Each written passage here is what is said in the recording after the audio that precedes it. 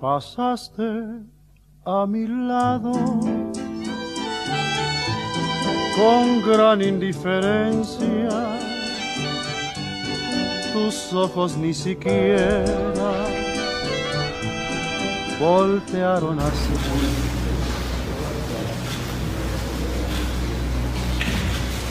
Buenos días. Buenos días.